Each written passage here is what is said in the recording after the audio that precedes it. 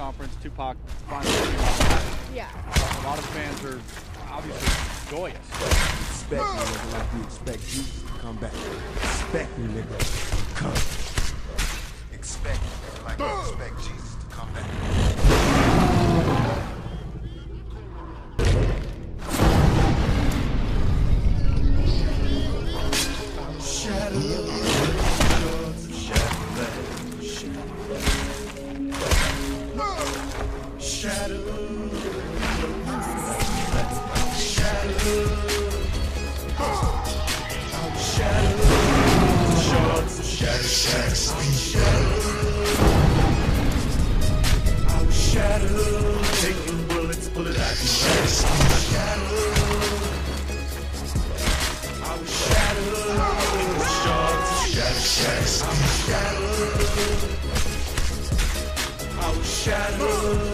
shattered. Taking bullets, bullet action.